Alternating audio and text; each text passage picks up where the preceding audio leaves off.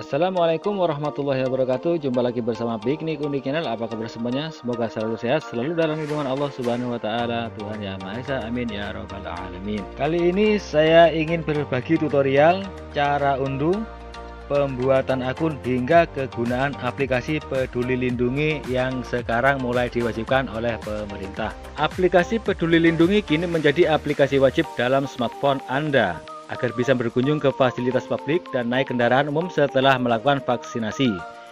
Ya, syarat memiliki tanda bukti vaksinasi di aplikasi satu ini bisa mempermudah aktivitas Anda di luar rumah seperti berkunjung ke mall, masuk ke gedung perkantoran, hingga makan di restoran atau kafe.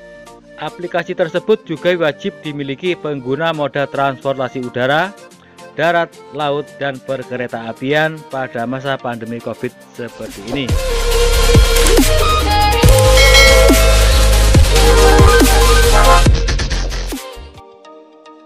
Bagi Anda yang belum memiliki aplikasi Peduli Lindungi di smartphone Anda, Anda bisa mengunduhnya melalui Google Play Store untuk pengguna Android atau di Apple Store untuk iOS. Oke, yang pertama yang kita lakukan adalah unduh aplikasi Peduli Lindungi ke smartphone Anda.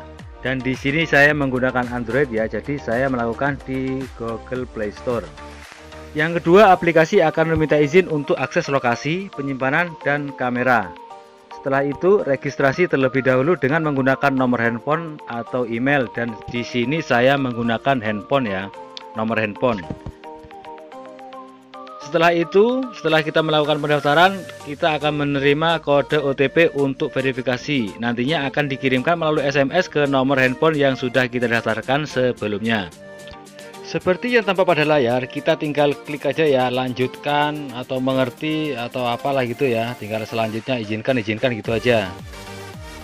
Kalau sudah menerima isi syarat penggunaan dan kebijakan privasi, kita tekan daftar. Jika berhasil masuk, Anda akan melihat tampilan awal dari aplikasi Peduli Lindungi ini. Terdapat beberapa menu pilihan seperti pendaftaran vaksin, scan QR code, pilih dokter, info penting, diari perjalanan, dan paspor digital.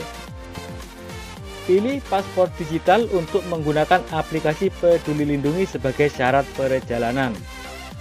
Setelah itu, muncul dua submenu yaitu sertifikat vaksin dan hasil tes COVID-19.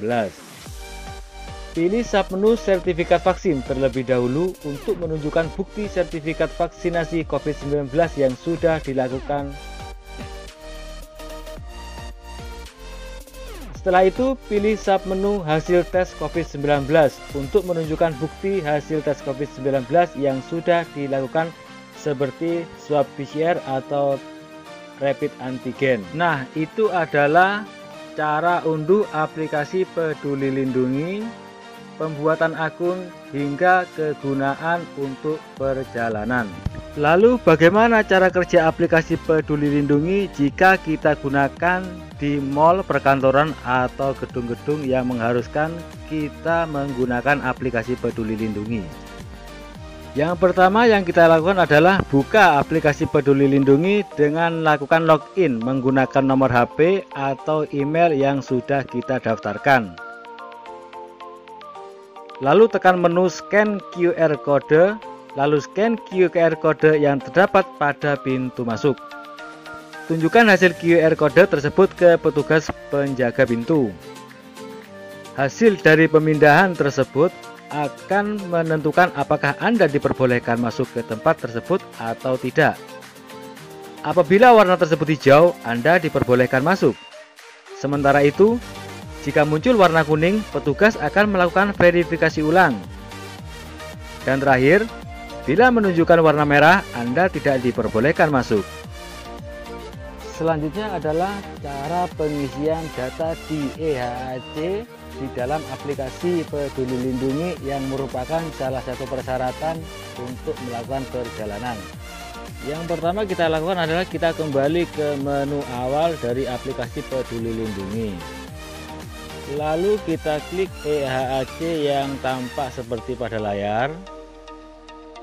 Untuk cara pengisiannya itu sama ya dengan aplikasi EHAC Indonesia di video saya sebelumnya. Cuman kali ini EHAC ini ada di dalam aplikasi peduli lindungi.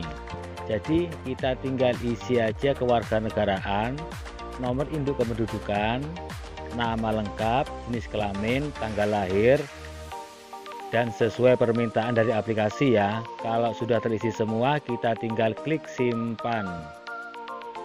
Lalu klik berikutnya untuk pengisian data perjalanan di dalam pengisian data kita tinggal isi asal keberangkatan kita. Kita tinggal pilih saja. Terus kita tulis tujuan kota. Kita tinggal klik aja, kita tinggal pilih provinsi, kabupaten dan kecamatan. Lalu kita tulis alamat tujuan kita. Kita tulis nama desa atau nama kelurahan ya selanjutnya kita isi detail transportasi. Kita di sini tinggal pilih ya. Bisa dipilih pesawat atau apa di situ ya tergantung apa yang digunakan. Lalu tulis di situ kira-kira awal keberangkatan kita dan perkiraan kita sampai pada tujuan.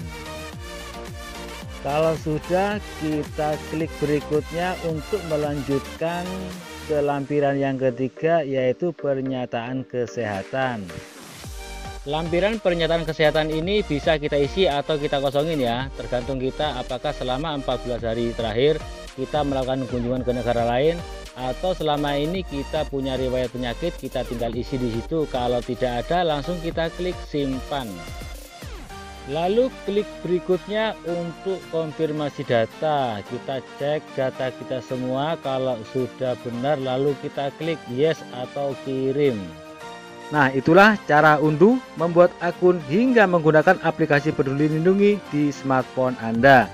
Semoga informasi ini bermanfaat dan jangan lupa selalu mengikuti protokol kesehatan yang sudah dianjurkan oleh pemerintah. Jika ada yang merasa kurang bisa dipahami, silakan masuk ke kolom komentar, insya Allah saya jawab. Dan semoga tutorial ini bermanfaat untuk teman-teman semua.